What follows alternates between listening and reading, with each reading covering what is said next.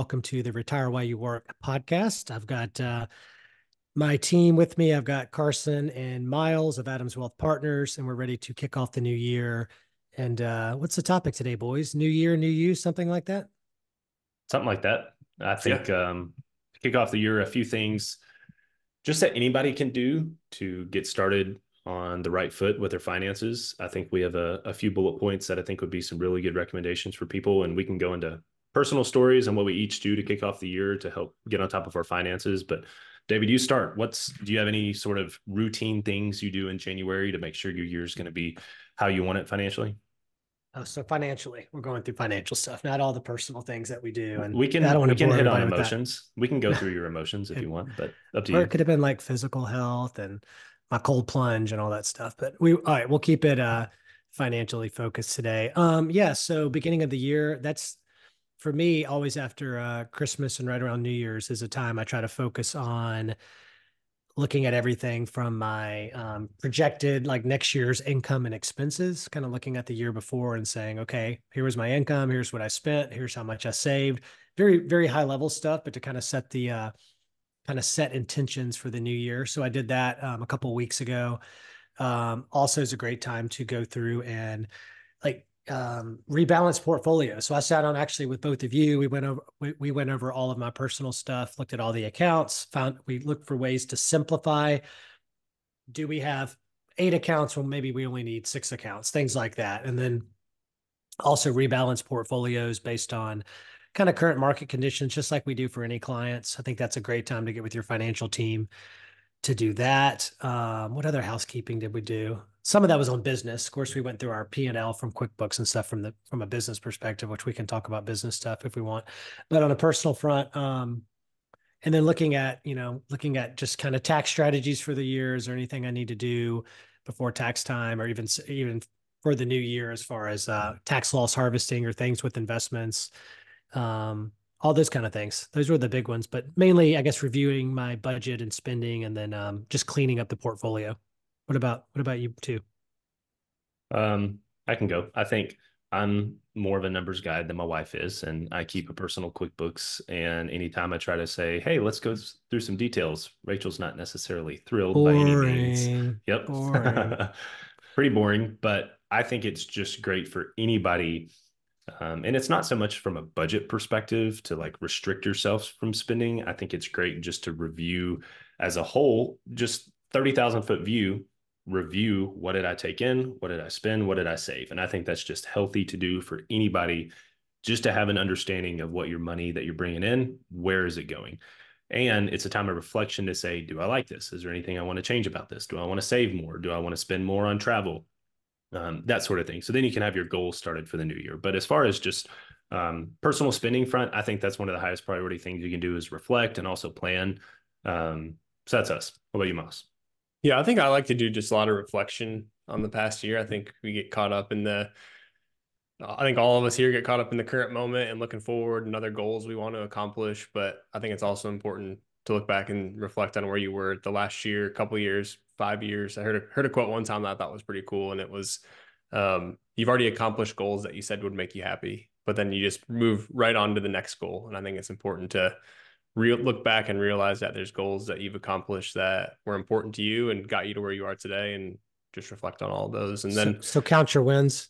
Yeah count your wins. And i think like like you said david um, just looking ahead to maybe some rule changes that might affect myself or clients and how we can plan for those and uh, just better my situation and all of our client situations as well. Yep. That's um, good. And one thing too, I know I'm thinking from a client perspective, and obviously it, it affects us too as financial advisors and us being our own clients. Just looking at all the changes in regulations with contribution limits. So obviously each year 401k limits go up a little bit, thousand bucks here or there. Same thing with IRA contributions, SEP IRAs, Roth IRAs, all those things. So it's a great time. Like for I know a lot of clients may say, "Hey, we've we have our 401k at work or our IRA with Adams Wealth Partners set up to max out. But if that number changes, you need to get with your team and say, hey, bump it up to another hundred bucks a month or whatever it is to make sure that you max it out and get the full tax deduction. Um, this is something that came to mind. I think in on a 401k front, if you're not maxing it out, if you're you know, to use easy math, if you make $100,000, you're putting 10% of your salary in, you're saving $10,000 a year. Some of the best advice I received a long time ago, and I think it's great advice, is that January 1st of every year, bump your contribution percentage up 1%, because then you're going to be saving more, but it's usually a small enough amount to where it's probably not going to affect your budget too much. So if you're just bumping up 1%, that's an extra thousand dollars over the course of the year, less than a hundred dollars a month, just by each and every calendar year, bump your contribution up 1% and 10, 15 years go down and uh, down the line, you're going to be extremely grateful that you uh, that you did that. So I think that's a great practice to put in. I would add into that too. Maybe if you got a raise or a new job where you had a big income bump, taking that into account as well. Maybe you can do instead of doing one percent, maybe you can do five or ten percent, depending on what the change looked like for you. So just there was a big change in your financial situation that led to some higher income or maybe some sort of inheritance with some extra cash to be able to contribute somewhere just um, looking at it from that perspective as well yeah but that's that's a good point Myles like if you get a somebody gets a $20000 a year raise at work before it's while it's newfound money before you go and spend it all you can say hey i'm going to go ahead and put $5000 more towards my bucket three retirement account or whatever before you miss it while still having the extra 15000 for lifestyle creep and trips and things like that. So it's always a good time. Always a yeah, good time to do that. I think we see that with clients on a monthly basis, anyways. Our clients who contribute monthly automatically versus those who say they'll get with us quarterly to see what they have sitting in cash. The ones that are the most disciplined are the ones that proactively take action to make contributions automatically versus reactively just oh. seeing where they're at at the end of the quarter. Always. And I think back to over 20 years of doing this when I've seen clients to your point, Myles, like, hey, you know, every quarter I'm in real estate and I get quarterly commissions or I'm a songwriter and I get quarterly royalties, whatever it is. I'll just call you guys at the end of every quarter and I've got an extra 20 grand in checking, I'll move it over. It just doesn't happen. I mean, it happens maybe 30% as often as someone that says that does it automatically. So what I'll say to that, well, maybe you don't know how much that bonuses could be every quarter, but for the last 10 years, you know, it's averaged 20,000 a quarter. So why don't we just do $5,000 a quarter or $10,000 a quarter on autopilot. So that happens automatically. And then each quarter, just use that to true it up, just so that there's some automatic discipline that's being instilled on the front end. It's just way much, you know, way better results from an investor perspective historically. Behavioral finance 101. It's just the way we're wired as humans. Yep. Good. I think um, another bullet point that we had was when it comes to taxes, obviously not the most fun subject in the world, but um, you know, if you find yourself, there's one situation where you can find yourself frequently getting a huge refund um, every April whenever you file your tax return. January is a great time. It's a fresh start for the whole year with your withholding. So find the form W 4 and adjust your withholding because the last thing you want to do is give the government a free loan on a monthly basis to use your money and you not get it back until the following April. So work with a CPA, work with a professional to sit here to help calculate what withholding you need to have withheld out of your paycheck every single paycheck or every single month. Uh, just so that it usually ends up putting more money into your pocket. Or if you're not in that camp, you end up owing a lot of money in April get into the routine of having more money withheld out of your paycheck so you're not stuck with the big tax bill in April. Yeah. And I've heard clients for years like, oh, it's great. I got a $20,000 refund. And to your point, we're always like, well, yeah, you let the government borrow your money. It didn't matter as much the last five years when the, you know, the opportunity cost to having your money was half a percent in a money market at a bank. But now that, you know, money markets and savings accounts and CDs pay can pay 5% plus, having your money in your pocket throughout the year is, is very beneficial to you versus the government having it when, uh, when you can get paid paid on that money. So something to think about. Um, let's see what else. What else y'all? What else do we have clients do at the beginning of the year? I know we always bring up, you know, reviewing estate plan. Um, it's not something you get redone every year. A lot of time, I mean, first of all, 70% of the country, most people still do not have a will or any estate plan. So that's still the thing I always go back to. So if you don't have one, get something done, even if it's, I, I see this all the time. It's, well, we met with an estate attorney and we just can't decide who's going to be the guard, you know, the guardian of our kids, or we're not sure if his sister or my brother is going to be our executor.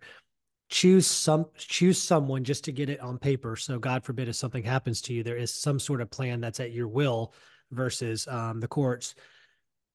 And then assuming you have a plan set up, I'd say each year it's just a good time just to spot check it and just go, yep, nothing's really changed. All this looks good. Probably from experience, every five years or so, there will be some sort of change in a document. Um, and then certainly if you have any life events, you get, you know, married, divorced, or have a falling out with the family member or somebody in your family passes away that was a key player in your estate plan, you want to get all that stuff updated. So we see that happen a lot. Um, people just don't think about it. It's been 15 years and then um, we bring it up and you know, Lord and behold, it their their estate plan was from a state they lived in two states ago, and it's a little outdated. Yeah, I mean, it's something that takes two minutes to review annually, but can save your family, I mean, months and maybe even years of headaches if what you had on there wasn't wasn't how things were supposed to be. And after something happens to you, it's pretty much impossible to reverse that what you had in writing. Yep. So it takes two minutes to make sure that everything is how it's supposed to be. Could do an entire podcast on um, things gone wrong with poor estate planning and that sort of thing, but I won't. We won't do that today. But just know it is very, very, very important. And uh, along the estate planning lines, life insurance. Again, probably not buying life insurance every year, but uh, great. You know, beginning of the year, I just did this with mine. I got with uh, our CFO Christine. I pulled out all this. I was like, you know, let's look at my disability insurance and, um, you know, my life insurance and my uh, key man insurance on me and the business. And we went through all that, just pulled out the documents, just made sure that my understanding was still the same. Like, what is the, what is the annual premium? Are we paying it each year? Or are we paying it quarterly? Cause you know, it's cheaper to pay it once a year, just looking at all those things and making sure the company hasn't changed. Cause a lot of these insurance companies get bought out and you, you start getting confused. Like, wait, I thought I had a Hartford life insurance policy and now it's with whoever it's just a good time to just to check those. And again, you may just have a term life insurance policy and that's it. Um, but I found that to be very helpful. I had three different disability policies, and that was by design for different reasons. And then this year, I decided, you know, I wanted to kind of reshop those. It had been a couple years and see if there was a way to consolidate those, and made made a couple small changes. And you know, it took a little bit of time, but it was it was you know to a net benefit for me and the company to to kind of up, upgrade those benefits. So definitely worthwhile. Anything y'all add to that with estate planning or life insurance? I would say it's another great time to, if you're a client of ours, if you work with a financial advisor, perfect time of year to sit down and just do a planning session for the entire year. Because if you got a raise, you can discuss how much you're saving with your financial advisor. You can discuss uh, what you're contributing to on a monthly basis. You can discuss your life insurance, your estate plan with them, as we are um, experts they're experts in those fields. So it's a great time to you're not alone in doing this. You're not alone in planning the year. For our clients this is exactly what we do and what we love is planning and strategy for the future. So use us to your advantage. Reach out to us and have a planning meeting for the whole year. Yeah i would just say every, everything's that much easier if you can look ahead and be proactive versus reactive and plan 6 12 couple years ahead and have everything in order so that when you need money or something crazy happens in your life and and you need help rather than having to figure it out in five minutes. You know, you've been planning for that for the last six months. Yeah, and I'll say most of this was kind of geared on a personal level, but as a as a business owner myself, and many of you listening, and also a lot of our clients are small, mid-sized business owners. Same thing with your business. Again, we we spent the beginning, Carson and I spent a week or so going through all of our QuickBooks transactions. Again, really exciting stuff, but it was it felt really good when we got done with it. Just categorizing them, making sure they're in the right accounts in QuickBooks so that we could build a pro forma budget for 2024. We're able to say, okay, this is th- these are the raises we gave our staff. So payroll is going to cost us. I'm making this number up. Payroll is going to cost us an extra hundred grand this year, and our rent's going up or whatever from this to this. And so we know at the beginning of the year, okay, our, our top line revenue has to grow by two hundred and fifty thousand dollars to break even, and this is what it needs to grow at for us to grow at this percentage. Just thinking like a CEO and um, and and CFO and and and running those numbers and doing the same thing you would on a personal note on your business. Um, it's a great time of year to do both because it's really a lot of the same exercises.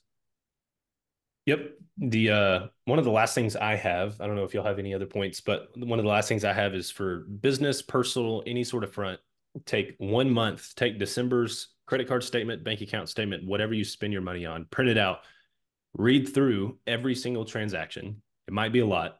That way you can understand, oh, I didn't know I was still paying for Apple Music and I don't use Apple Music anymore. Or I didn't know I was still paying for Paramount. Paramount. I subscribed for a month yep. to watch Yellowstone and I don't watch Yellowstone anymore because there's not a new season. Whatever Great the case show. is.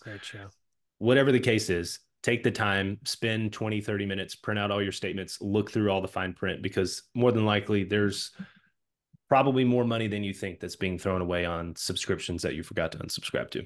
Carson, I mean, obviously, all three of us do this all day, every day. And um, I'm even a CPA myself. And I was surprised I did that exact exercise. And I can't remember. I think I had like two Hulu accounts because one was at home and one was here. And we ended up figuring it out and a Pandora account, a Spotify account, trying to figure. I mean, you you definitely more than likely in in today's world of, of subscription services, you'll probably find one or two things that could be 10 20 dollars a month which is a few hundred bucks a year and it's just wasteful. It doesn't matter if you make 10 million dollars a year. Most most of us would prefer to clean that stuff up and do something else with that money. So that's it's kind of the the world they live in. It's kind of that gotcha. They know that people forget about it and that's kind of the way the model's built. So don't be a victim of that. That's right. Stay on top of it. That's um, right all good stuff. And i'll say um, also if if you're a first time listener um, we've got all sorts of uh we've got other events. If you know if you listen to the podcast that's great. You can always reach out to us um david at adamswealthpartners.com visit our website adamswealthpartners.com we have some upcoming uh, women in wealth event. We have a market webinar coming up. We always have things on the agenda if you're someone who wants to likes what we're like likes what you're hearing and wants to be a little bit more involved. But um anything else? New year new new me kind of thing?